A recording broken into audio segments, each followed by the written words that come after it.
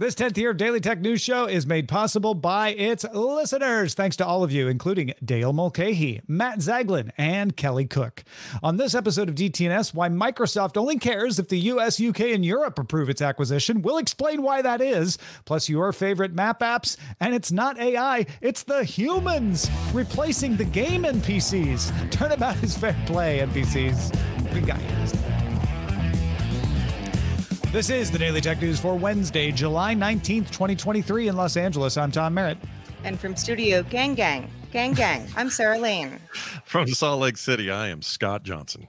And I'm the show's producer, Richard Chang. if if you're laughing hilariously at Sarah Lane right now, uh, you're going to love our main segment today. If you're not, you will explain in our main segment today. you might also know what I'm doing and also not be laughing, in which case, sorry in advance. And, and then uh, you'll want to comment on today's segment today. Indeed. All right. Yeah. There's no wrong Let's- answers here. Let's start with the gang gang. Bloomberg's Mark Gurman sources say that Apple is developing a chatbot in its own large language models framework called Ajax. Ajax runs on Google Cloud and was built with the Google's JAX machine learning framework. Apparently, internally, some engineers call it Apple GPT. Employees have also used it to do product prototyping, reportedly anyway. Although Apple is not officially uh, commenting and has not a set a set a product strategy yet, but may make an AI announcement later this year. Mm, Apple. Earlier this week, Intel announced it would discontinue its small next unit of computing, the NUC PC, and we were all very sad. Uh, but it said it would seek a partner to keep them alive. And it has. Intel announced it gave Asus a non exclusive license, so there could be others joining this party, uh, to use the NUC product designs. Asus can manufacture 10th gen through 13th gen NUC systems, develop its own NUC units based on new Intel chip designs, and offer NUC system support. NUC, NUC, NUC. Knock, knock, knock. The UK's Competition and Markets Authority announced that it has taken an initial view that Broadcom's proposed acquisition of VMware would not substantially reduce competition. The CMA will consult on these findings and also issue a final decision on September 12th. EU regulators approved the deal last week, so the US Federal Trade Commission has yet to decide if it will sue to block the deal. Roblox announced it will soon let developers offer subscriptions on its platform. Roblox already offers the ability to sell you stuff, but they're all one time things like a one time fee, one time virtual item, special pass to an experience, stuff like that. It has not allowed ongoing charges. Now it will. No word on when subscriptions will roll out, but if you're looking at who's going to be the metaverse, Roblox just took a step forward because Fortnite doesn't allow direct sales of anything, virtual items or subscriptions. Not yet, anyway. Not yet.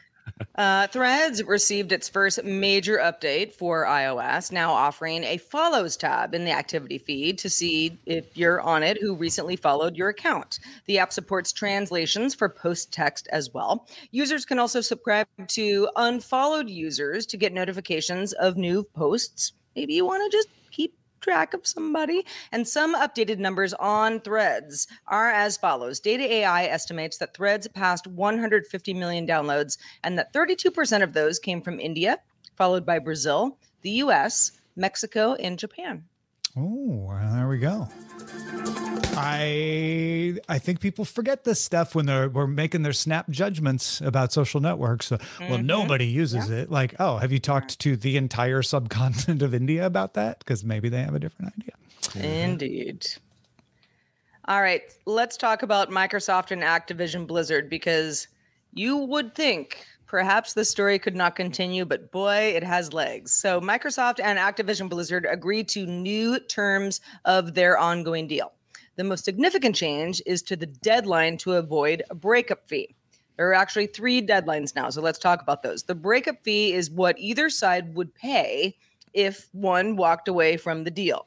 That's at $3 billion. It's a big breakup fee, but it rises to $3.5 billion on August 29th and $4.5 billion on September 15th. The drop dead deadline for the deal to get done is now October 18th. So it has been extended but there's a lot of money at play here. The staggered breakup fee schedule is meant to encourage both sides to get the deal done early if possible.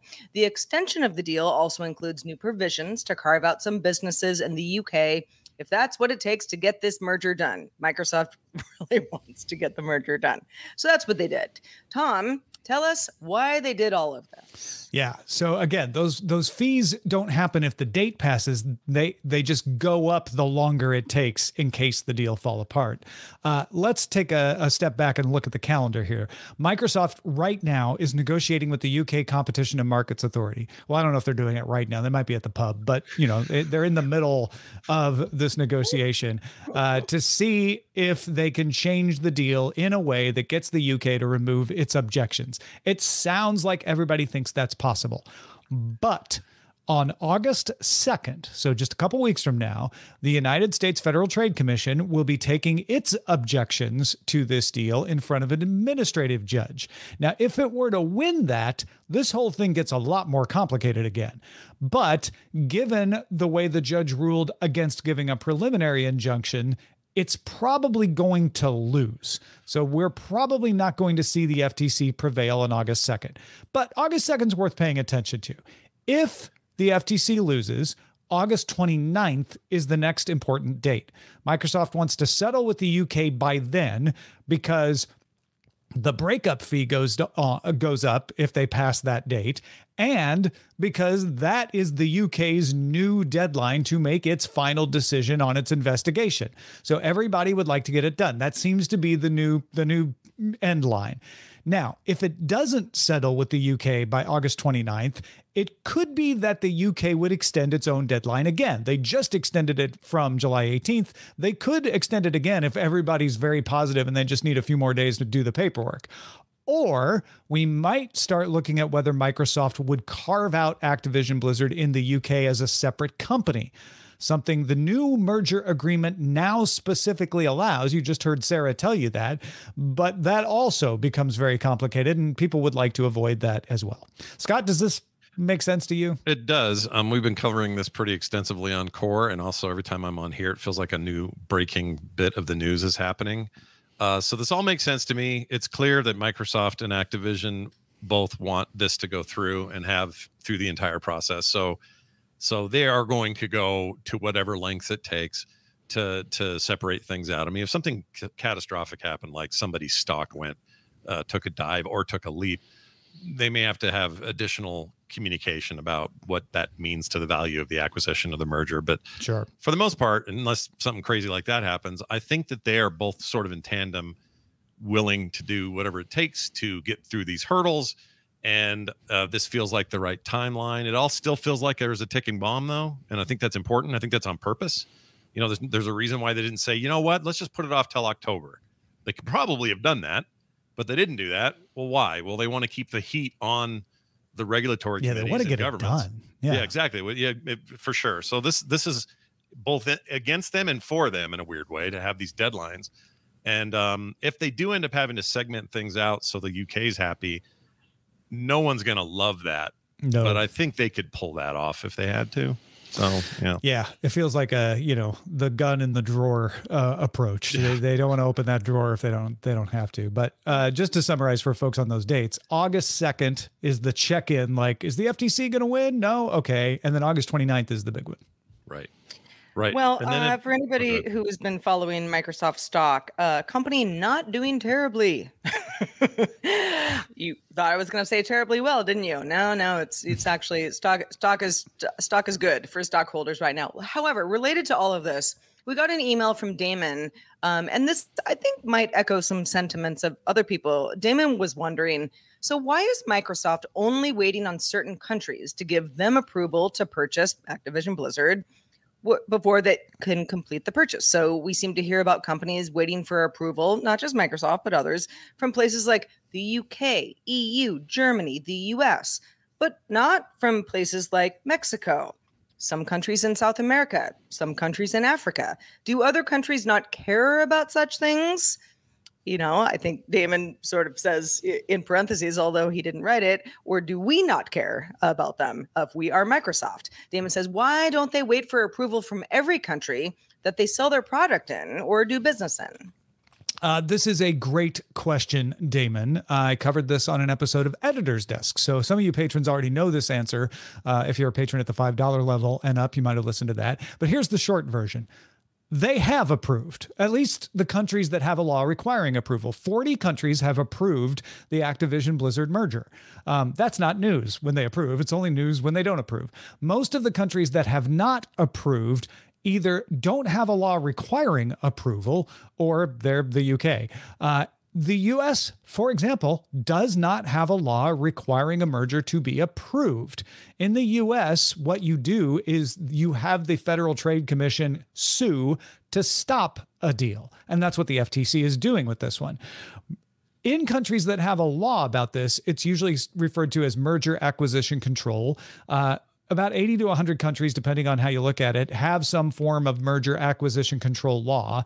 And if you do business in a country that has a law like that, in other words, if you're selling stuff to citizens, if you've got World of Warcraft or Call of Duty available, uh, then you are subject to those rules. Now, some countries, the reason you've only seen 40 don't approve until after the deal, which seems weird, but that's how it works. Most countries, though, you have to apply for approval before if they have a law about it. And in practice, almost all countries approve mergers. It's a paperwork thing. They just want to have it down on paper. What are the terms? Who's paying what?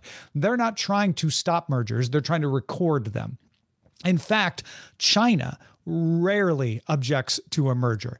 They have such strict rules about whether you can operate in their country or not that if you meet those rules, you're probably fine. They're probably going to allow your merger.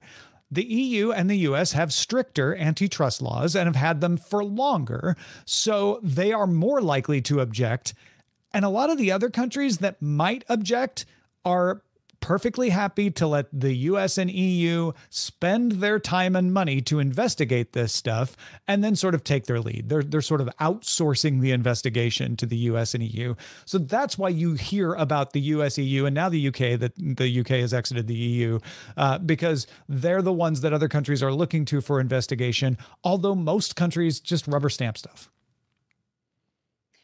Well, you might have also heard that Netflix has removed uh, at least one subscription plan for new users in the US and the UK, but first removed it in Canada. And this is the basic ad free plan for a $10 in the US uh, subscription that lets users watch Netflix content on a single screen in 720p quality. So it's limited but it was the free non-ad supported version, the cheapest one rather. Exist not free, ten dollars. Uh, existing users can use this plan going forward. So if you're on this plan and you say, "What? No, it, it, you're you're probably fine." But if you're a new subscriber, or perhaps you've lapsed and are coming back to Netflix and are, are, are a returning subscriber, you no longer have this option when you sign up.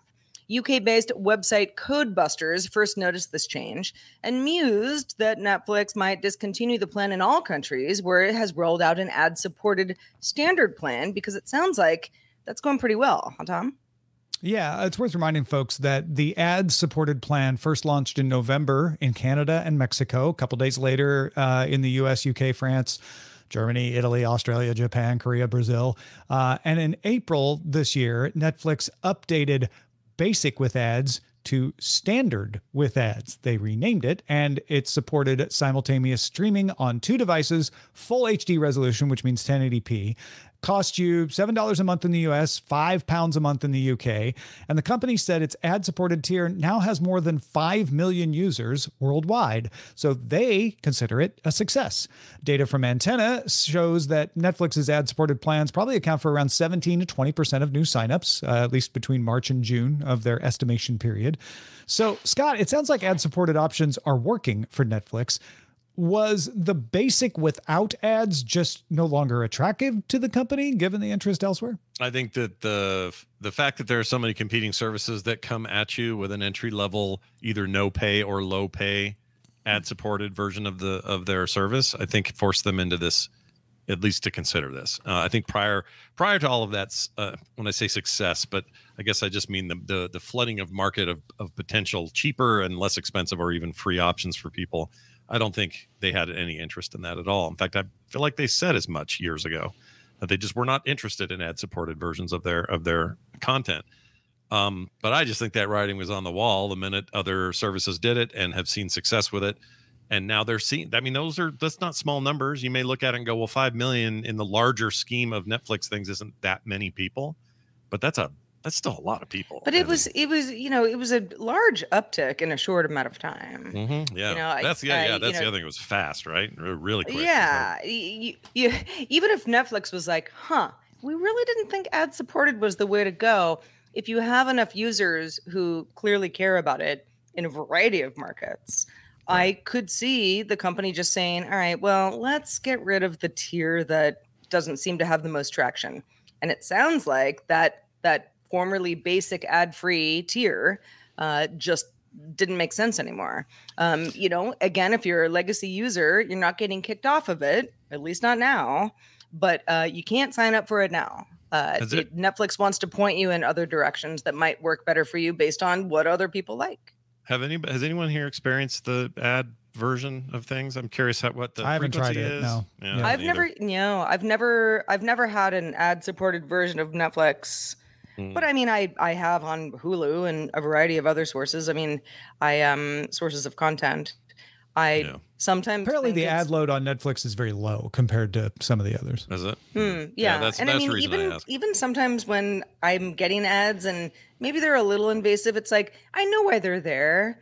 I can't really think of a situation recently where I've paid for something on some level, or or maybe not at all, um, and thought, well, this is just you know outlandish. I think Yeah. it's. I usually I I I kind of you know turn a blind eye. I guess It, to the- is a little the annoying to see that price six ninety nine and remember that we were darn close to that for what Netflix was in those early days. Yeah, I think that one of the reasons this is getting so much buzz is that it's seven dollars a month in the U.S. for ads, and then practically double the price, fifteen forty nine for the next Mhm. tier without ads. Yeah. Uh, I I think it's also notable that this happened exactly the same way in Canada on June 26th, and you didn't see nearly as much outrage then. Why were you not outraged for the Canadians? Why? Uh, look, I'm always looking out for my Canadian brothers and sisters, but in this particular case, I think I just slept on that one. Uh, you poor people up there, you struggled through this this transition, and I hope you're all okay. I can I can hear the Canadians yelling right now. We told you, you just weren't listening. And also, we're used to you ignoring us. Ah, fine. All right. Yeah. Uh, well, Canadian or otherwise, if you have feedback about anything that gets brought up on the show, get in touch with us. There's so many ways. Uh, we have at DTNS Show on Twitter and Mastodon, mstdn.social, at Daily Tech News Show on TikTok. I just posted on our D- DTNS TikTok today. I got a question for you. Go check it out. And DTNS Pics on Instagram. And of course, because it's on Instagram, also on Threads. Find us. We're there. In many modern games, non playable characters, NPCs, are an integral part of the experience. They inhabit the world you're in. A lot of times they provide clues or context that help you along your journey, sometimes just sort of being there to make the world feel more real. This could be anything from a character sitting outside a store who tells you how he took an arrow to the knee, uh, to Zelda herself, since in The Legend of Zelda, as they point out in the Washington Post today, you're playing as Link. You're trying to save Zelda. Zelda is technically an NPC, just a really important one.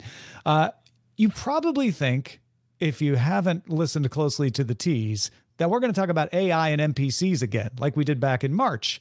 But no, this time we're talking about humans replacing NPCs. Sarah, explain, please. Okay, I'm gonna do my I'm gonna do my best on this uh, because if you're if you're if you're familiar, you're going to go, oh gosh, here we go. But if you're not, let's start from the beginning. So this is an interesting story. NPCs aren't really designed to do that much in most games besides exist. Like Tom said, they might have, you know, a line of dialogue or maybe two or three, but there's not much to them. They're they're not really helping your gameplay. They're just sort of there. So they often get uh, a line that if you continue to interact with them might get repeated over and over or you might get to a point where you go okay yeah this character isn't doing anything anymore i'm going to go ahead and mosey on my journey enter the world of tiktok live now this is where some creators you have to have a certain amount of followers uh, who have a big enough following have streaming live access this is not unlike how you might go live on twitch some of those creators, uh, a small subset, but a subset, are acting like NPCs, non playable characters, for views and also sometimes for money. A TikTok user named Pinky Doll made the rounds recently. Boy, has she gotten some attention. She's a very popular streamer who acts as an NPC based on the gifts that she gets while she is live. She's also very good at this. Now you might say, okay, well, what is she doing? How does she act like a non-playable character? This isn't a game, right? This is just a live stream. For example, you send her an ice cream and she says, Mmm, ice cream's so good. You send her a cowboy hat and she says, Ooh, you got me feeling like a cowgirl. You send her a GG emoji and she says, Gang, gang. This is all in real time. You have hundreds of gifts pouring in at once. So there's a fun aspect to it if I want to send her a gift and I get thanked, I, you know, feel seen and heard as an audience member. It's not unlike being thanked in general on any live stream. You know, Scott, you might go live and I might, you know, send you some money over whatever platform where you, are using and you say, thank you. I am mm-hmm. saralane.com, you know, that sort of thing. Mm-hmm. But this seems to be a little different because it's very specific than what streamers already do. No? Well, there it's an interesting bit of performance that sets it apart. Definitely, if you saw saw somebody streaming your favorite game and you sent them some bits on Twitch, uh, you might even get a little animated something pop up on screen that says so and so gave you bits, and then the the streamer might say, "Hey, thanks so and so for those bits."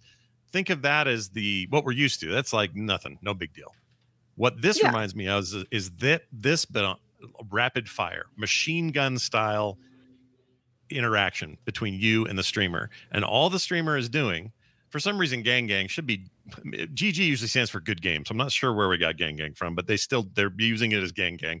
But if that's what you want them to say, and then they say it immediately, you get this immediate thing of, oh, I've interacted, I paid for this, I got noticed, they said thank you, and then they moved on. But she doesn't go off and then do other things on her stream. She's just going and going and going and taking these requests and taking these requests. Joe Joe has the uh, has the example if we want to throw it up. You should. Uh, yeah. uh, and, and here, mm, ice cream so good. Thank you, Jackie. Gang gang, gang gang, gang gang. Oh, special. Gang gang. Rah, rah, rah. Gang gang, gang gang, balloon. It's like a glitched NPC. Gang gang, it's so gang fast. gang. Mm, that was good. Luna. Yeah. Hee ha, yes. You got me feeling like a cowgirl. Let me read it. Uh-huh. Hee ha, yes. You got me feeling like a cowgirl. Let me read it. Uh-huh. and, well, and it's and it's you know you might go this is insanity. I mean she's saying the same thing over and over. Well, it yeah. all depends on what she's getting, right? Now. Mm there there's a part of me who's like yes this is very silly i don't i have never seen any of these streams actually in live form. I've only mm. seen stuff that's been shared on, you know, first I saw this on Twitter and I've seen it on TikTok uh, afterwards. You know, but these go on for hours. Yeah, I saw her. So I saw one live. This was her. She popped up in my feed. Don't know why, just happened to.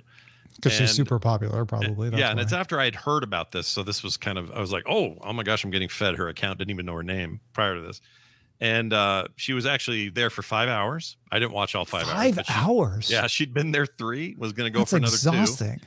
And at one point, only one time did I see her break character and yell at a dog or a cat or something. Um, and it was well, and now weird. that's the thing too, and that's right. that's become the thing of like watching the NPC live feed where you you're waiting for them to kind of go like, ah, yeah. I need a glass of water, or like, hey, dog, stop yelling, gang well, gang. And, and that's Thank that's you. kind of the Ice key cream. here. Like I was the comparison I can think of is let's say you're playing Nintendogs on your Nintendo DS or you're playing a Pokemon game. You got to feed your Pokemon, you got to feed your pets in some of these pet-based games. Um, and when you do that, you expect the little animated character to go, "Hmm, you fed me. Hmm, you fed me." And if you do it over and over, you're going to get that kind of repetition. You get that dopamine rush, mm-hmm. right? And we're used to that from inanimate computer generated creatures or people. We're used to this. When it what makes this different and why I think it's taken off so crazy and gotten so much attention is this we know this is a flesh and blood human on the other side. And we know that we are interacting with that person a lot like we are used to in these other ways, but I'm getting this real live person to acknowledge me, to make the sound, to move on and do it again. And it's a combination that I think is really alluring for a lot of people and it is easy to judge it and go, ah, oh, this is too weird for me. We're we're living in cyberpunk town. Uh, and, and maybe we are. Maybe these maybe these are early days of cyberpunk conversion. But but uh, uh, at the end of the day, I I think the motivations are very similar. It's just kind of hyper realized, uh, and it is very gamified. Whether we, whether we yeah. notice it or not, it's this reminds me of playing games, but in a much stranger way, I guess. I think, yeah. I mean, listen, if if this is something that appeals to you, then you know, then it does. There are a lot of people um, who, you know, I feel like there's like there's sort of three popular ways that people respond to this. Either I have no idea what this is. Yeah. The second is I know what this is and I don't like it. Nobody should be doing this. You know, this you know feels like a human who's you know in a cage kind of thing.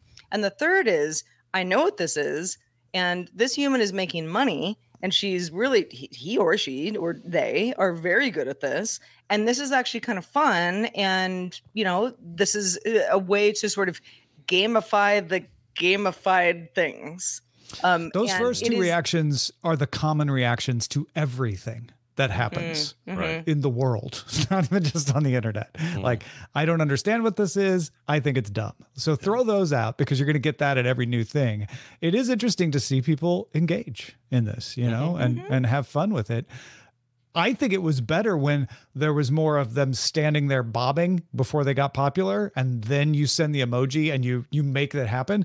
That manic presentation that we just saw uh, of Pinky Doll is is its own form of manic entertainment, but it it's not as much like an NPC anymore, is it? It's also a but sign i mean that it wouldn't be so manic now. if she didn't get so much attention right, Right? Yeah, no, I know. if you got Yeah. if you got a little coin or something you know every 30 seconds then it would be a very different experience Yeah, it is a reminder too. There's some game theory in this, but um, there, there's, there's a once in a while you you remind yourself that a lot of what I'm doing is about numbers going up. When I play a video game, when I play Diablo, I have the beautiful world set in. I see these amazing graphics and voiceover and story, and then really at the end of the day, though, what I'm trying to do is get numbers to go up. I'm trying to get loot and get numbers up. And if you start boiling that down to its most primordial ooze, that's what this is. Yeah, the this is dopamine people hit. wanting to see, yeah, dopamine Yep. hits, watching numbers go up, watching things flash on the screen, and watching a reaction, and it's worth your two bucks, your three bucks, your four bucks. one of one of the best uh i i have gone down quite a few internet holes uh over the last week about this because i find it so fascinating one of the best responses to someone saying this is so stupid why would anyone do this nobody should be participate in they were like this woman is very talented she should be an auctioneer like, Yeah. like, Probably take none a of us cut. could do what she's doing. Like there Yeah. is a talent here. No, we're just, no- you know, we're we're we're we're we're making it happen in real time. no Yep. cap. Yeah. All right, let's check out the mailbag. Let's do it. We got a lot of feedback from our conversation yesterday about uh, map apps that we use. Uh, specifically, we were talking about Apple Maps potentially being a lot better than they used to be. Here are a few examples. Bernard writes in One of the reasons that Google Maps had always been better is because it had years and years of data, including the time. When iPhones were using Google Maps, ever since Apple Maps came to the phone, I chose to use Apple Maps because I wanted Apple to get that data in order for the app to get better. If you don't give a data, it won't get better. Matthew wrote in to say he was a big fan of Apple Maps, especially through CarPlay, until he moved to Ecuador. He writes, Apple Maps is largely able to locate very little around Quito, Ecuador, or Bogota, Colombia, two cities with populations in the millions. I can understand not having great rural data out in the Amazon, but to not be usable any of the major cities makes it useless. This remains true in all the major cities in Ecuador as I've explored the country. I've largely given up on Apple Maps for other than learning geography. Mm, that is that is a that that's a good note. Depends on where you are. Jordan also wrote in uh, saying they prefer Apple Maps for turn by turn directions, CarPlay, and transit directions, but still giving Apple Maps the high marks for cross platform Google accessibility. Maps still gives Google Maps high marks. Google Maps, rather. Yes, thank you. Cross platform accessibility and retail and restaurant reviews because there's, you know, that that Google data. Uh, Matthew did say, oh, wait, was it Matthew? No, one, one, one person wrote in and said that uh, they they like uh, Waze, um, but most people were talking about Google Maps or Apple Maps as if those were the two options. So it feels like those are the two everybody uses. Yeah. Well, if you surprised. are listening and saying, well, no, but I still have another option, do Yeah. write in. MapQuest users. MapQuest. Yeah, people Yeah. are still printing their MapQuest somewhere, someplace. Open map users. Let's hear from you. I remember Map Blast? That was the Yahoo MapQuest alternative. Oh yeah. I was a Forgot about map blast user. I don't really know why. Uh, well, uh, no matter what kind of map uh, service you use, Scott Johnson, we sure are glad that you make your way into this show. Um, uh, you know, if we're lucky, uh, once a week, sometimes more. Let folks know where to keep up with the rest of your work. Well, sure. If you're interested in uh, all the hot takes around this Microsoft Activision uh, merger business, or really anything in the realm of video games coverage, I have a show every week that does just that. It's called Core. It happens on Thursdays, and uh, Core is me and my two buddies talking about video games and doing it. I think the best there is. We really like this show. I think you'll like it too. So check it out. That's at frogpants.com/core, or just look for Core wherever you get your shows. Yesterday, I had GPT-4 write the Patreon promotion. Mm. We got zero patrons as a result. Oh no! So today, today they it's smell a, it, Tom. it's a human appeal. It's a human Mm. appeal. If you're listening to the free feed and you support value for value, you like what we do and you want us to keep doing it, consider signing up. Patreon.com slash DTNS. It's a human could- asking. I liked that. I liked it. It was very NPR of you. Uh, you can also catch the show live. Well, hold on, hold on. I wasn't done. Patrons, stick around for Oh. the extended show. Good day, Internet. We're going to talk about Google's pilot program that has a few thousand of its employees working without the Internet. They cut off the Internet for their employees. Another great incentive coming to the office for Google. Stick around. We're going to talk about that. Um, sorry, Tom. Something about the humanization of all of this. I know. you It threw me for a human. loop. Yeah. Uh, but just a reminder, we as humans, and we really are, uh, do the show live Monday through Friday at 4 p.m. Eastern at 2000 UTC, and we'd love to have you join us live. If you can, we're on demand too. But if you want to know more, dailytechnewsshow.com slash live is where to go to find more about that. We are back doing it all again tomorrow with Justin Robert Young joining us. Talk to you then. This show is part of the Frog Pants Network. Get more at frogpants.com. Diamond Club hopes you have enjoyed this program.